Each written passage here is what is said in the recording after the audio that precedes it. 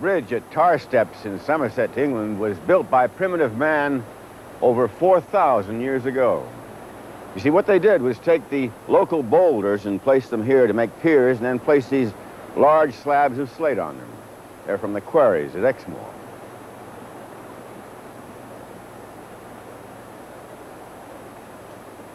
It's striking in its simplicity. As old as Stonehenge, the bridge still stands today a monument to man's first attempts at engineering. Tonight we'll be looking at the development of bridge building from this primitive stone bridge to the sophisticated steel structures of today. And we'll be looking at some of the tragedies that overtook the bridge builder when havoc struck.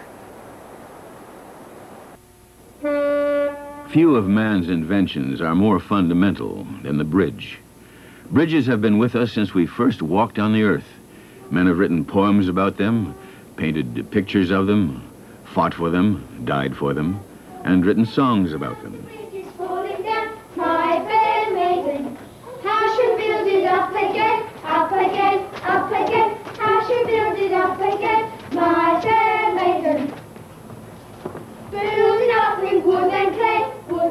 Knows for sure how or when man discovered the suspension bridge, but as soon as man had rope, he strung fragile, not to say precarious spans across the deep gorges of Peru, Tibet, and even Scotland. Still, in the distant past, the Chinese came up with something more solid when they started building large timber cantilever bridges. But it was the Romans who invented the arch, the discovery that ranks second only to the wheel. The Pont du Gard near Nîmes in France is 2,000 years old and carries water.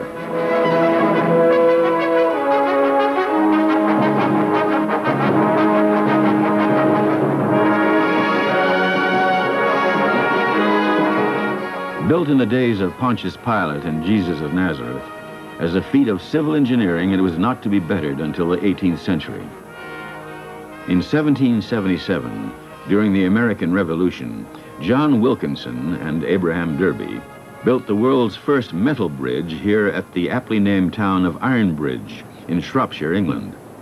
Today, the bridge stands as a symbol, for this is where the Industrial Revolution began. The revolution that changed the world, that brought science and prosperity, steel and the railway to the aid of mankind.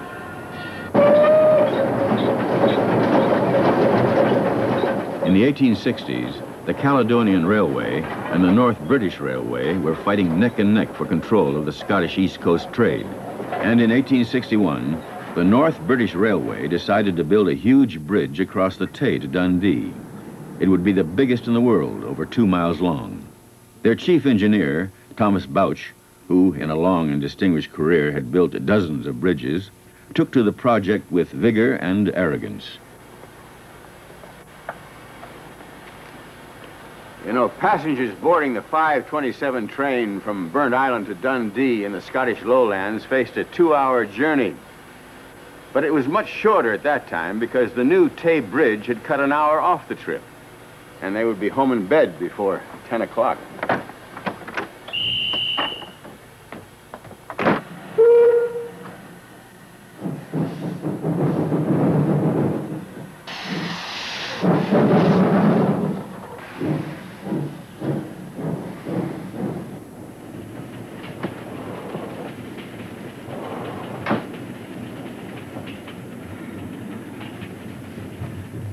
It was a wet, windy night as the train approached Tayport at the start of the bridge. A violent storm was raging on the Tay, driving ships to seek shelter in the port. At 12 minutes past seven, the train rolled out onto the bridge. It was never to reach the other side. John Watt was in the signal box at the approach to the bridge. He was the last person to see the train. He recalls I watched the tail light move off over the bridge. A spray of sparks blurred into a star blown eastbound by the gale. I saw three distinct flashes, then one big flash, then I couldn't see the tail lights anymore. There's something wrong with that train, I thought.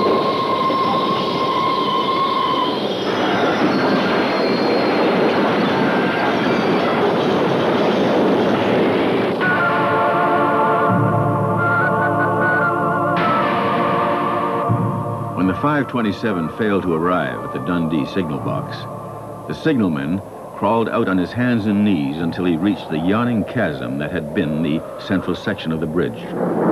There was no sign of either the train or of its passengers. The news of the disaster quickly spread through the town. Soon, anxious relatives were gathered on the shore. At once, boats were launched and a brave but futile rescue attempted. For the wind that had blasted the train from the bridge had whipped the Tay into a fury. Only the foundations of the bridge remained, like tombstones stretching across the Tay. They're still there today, standing alongside the new bridge.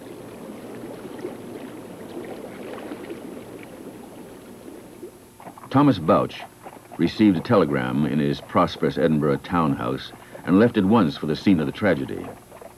The subsequent inquiry recorded that the allowance for wind pressure had simply been inadequate. Indeed, there had barely been any allowance made at all. The more austere citizens of Dundee maintained that the passengers had been struck down by God for daring to travel on the Sabbath. The fall of the Tay Bridge can be classed with the wars in Afghanistan and Zululand as a token of God's displeasure. It is the voice of God, determined to guard his Sabbath with jealous care. The Tay Bridge disaster passed into folklore, and with it passed the great arrogance of the Victorians and their age. As for Sir Thomas Bouch, his career and grand design now lay in ruins. His health failed, and he traveled to the spa town of Moffat to recuperate. But his condition had worsened beyond saving, and on the 30th of October, less than a year after the Tay Bridge disaster, he was finally carried away by a slight chill. The storm of December the 28th had blown the stilts from beneath Thomas Bouch as cynically as it had plucked the stilts from beneath his bridge. The torch of true technological innovation had been passed across the Atlantic. James Eads built the world's first steel bridge across the Mississippi, and his fellow countryman, John Roebling, spanned the Hudson at Brooklyn in New York.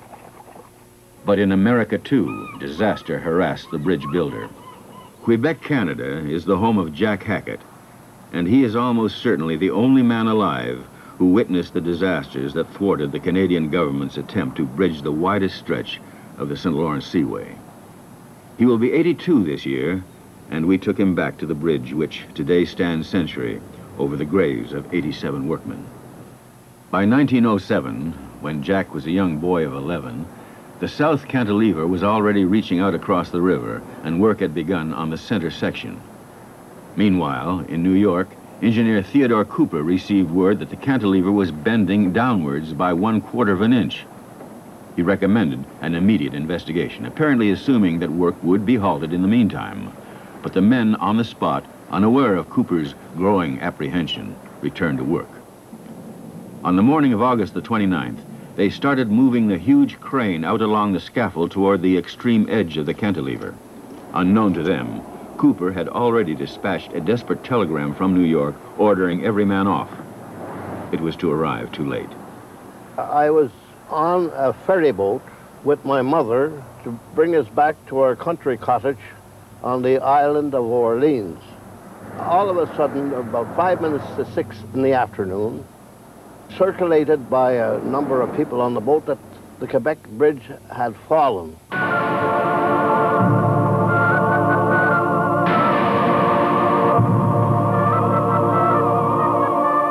The 19,000-ton lattice work of steel crashed into the St. Lawrence, taking with it 86 men. Only 11 of them were to survive. My brother and I got a chance to get ashore. We wanted to get in on the excitement. We seen a crowd of people around this crumpled steel. We could see a man alive, caught amongst the girders, and the tide was coming up, and they couldn't do anything to him. The Roman Catholic priest gave him the last rites, and I seen the tide come up. The guy was absolutely conscious. That was gruesome. I remember that to this day. The Quebec Bridge, which had claimed the lives of 87, was the last great cantilever bridge built. In 1909, Henry Ford introduced the famous Model T. From now on, it was to be the car, not the train, that would provide inspiration for the bridge builder.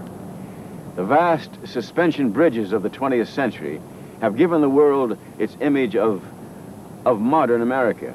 And the Golden Gate Bridge here in San Francisco is perhaps the most famous of all. It certainly is one of the most beautiful. In America, if a man is free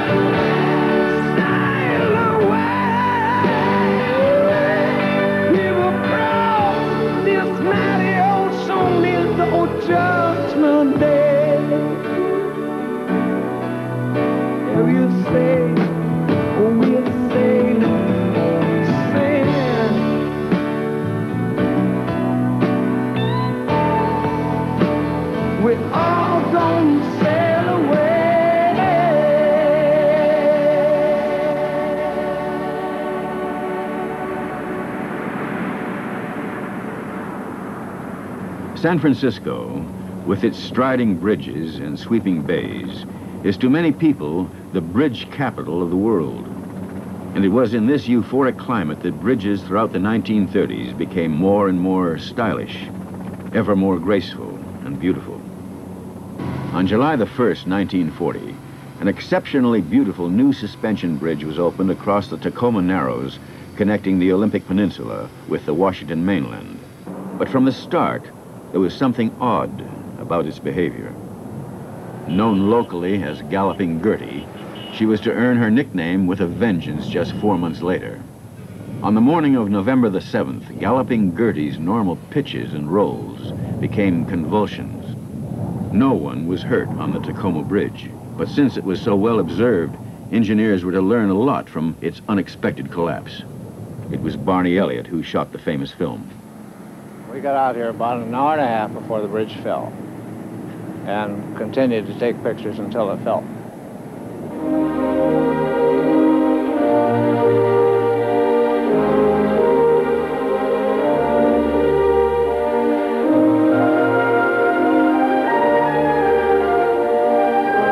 It had the regular up and down motion, like a wave motion, which was all right.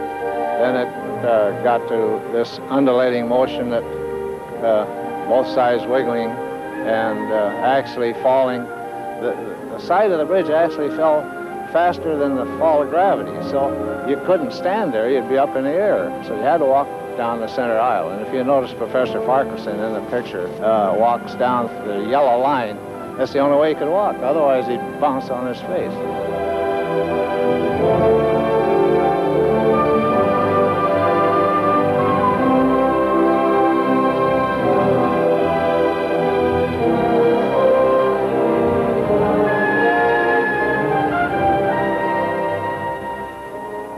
Too big a thing for anybody to react properly, I think.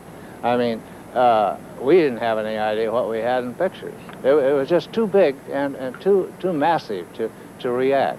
Those kind of things, I mean, a great big building or something falls down accidentally, you, uh, a, it takes you a while to con- conceive of what had happened, and I think that happened here, too. The Tacoma Bridge had been built to withstand gale force winds, so why did it collapse? Extensive wind tunnel tests had been carried out before construction, but in the 1930s, the wind tunnel was still a fairly new device and was incapable of reproducing the complex wind patterns which the real bridge would eventually have to withstand. The collapse of the Tacoma Bridge brought home finally to engineers the complicated nature of wind and its action on large metal structures.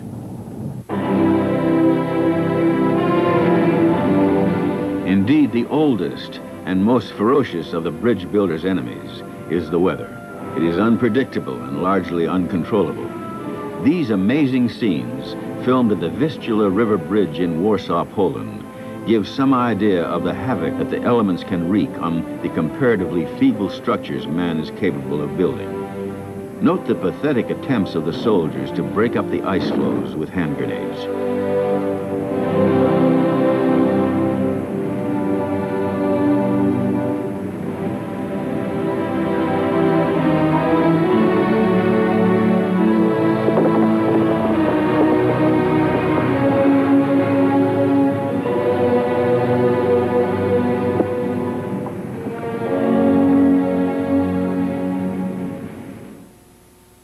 This is the grave of Chief Cornstalk, leader of the Shawnee tribe.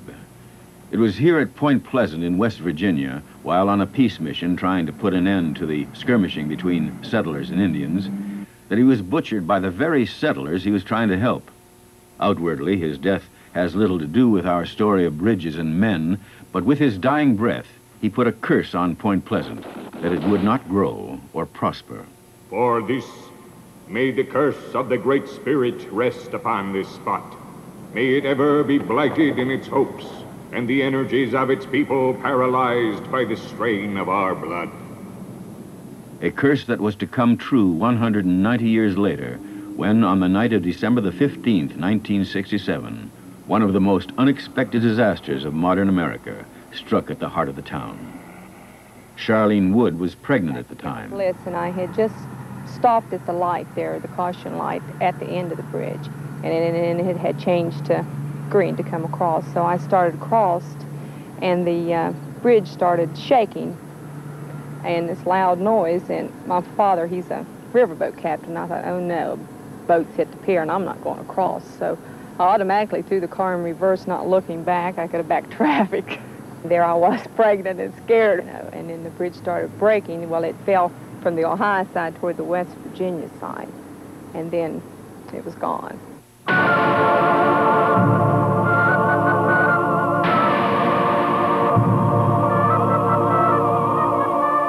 It was late evening, and Christmas shoppers and rush hour travelers were packed bumper to bumper on the bridge when it collapsed.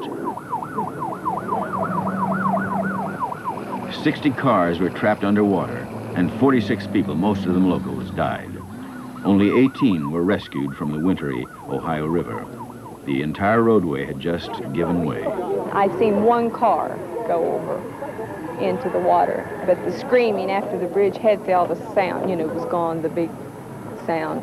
You could hear people screaming for help. I mean, it was just blood-curdling screams. I mean, they probably really didn't realize what they were doing at the time.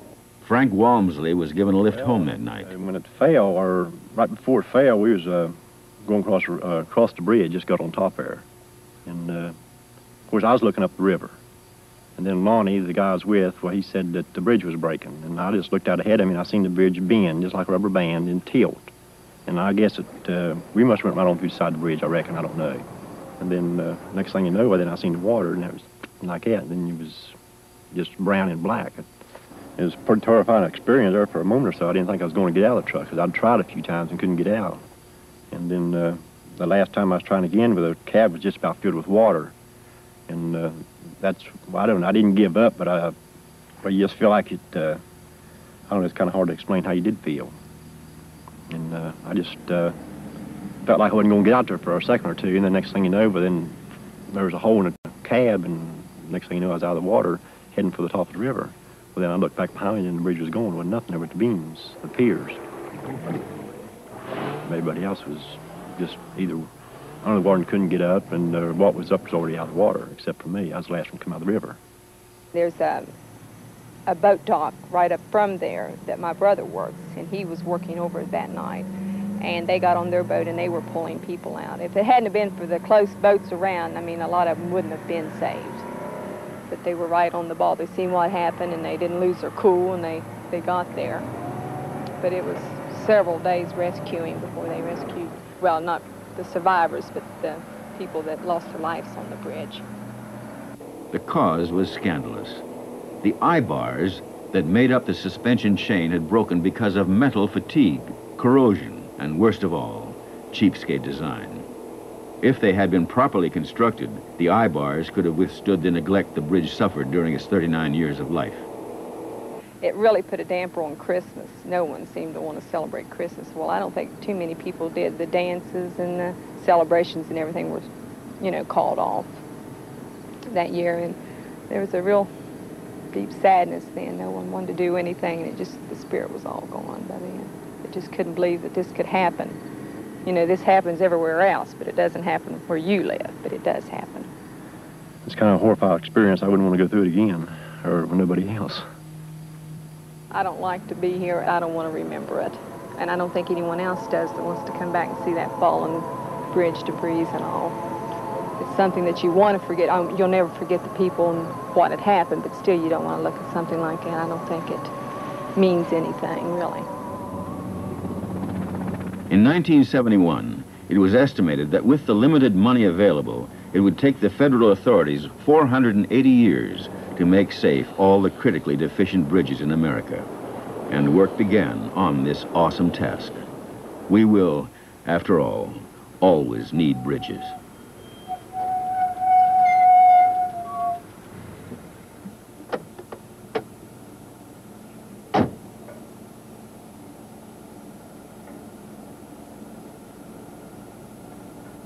This is the River Humber in the north of England, where the longest single-span bridge in the world is being built, over a mile long. Now, the other side, that pier on the other side, is three quarters of an inch lower than where I'm standing because of the curvature of the earth. It's a far cry from the primitive bridge at Somerset. You see, man's urge to travel has narrowed the distance across the waters of the world until he has achieved the seemingly unbridgeable. Engineers have conquered the endless technical problems by experiment and failure. And the failures have been many. However, nearly all the bridges we've seen in ruins tonight have since been rebuilt. The new Tay Bridge stands alongside the old. Quebec Bridge was finally completed in 1918. Galloping Gertie at Tacoma was replaced. And work continues on the new bridge between Point Pleasant and Gallipolis. Men have died along the way, but the successes have been many, leaving impressive monuments. Monuments to their memory, like this bridge over the River Humber.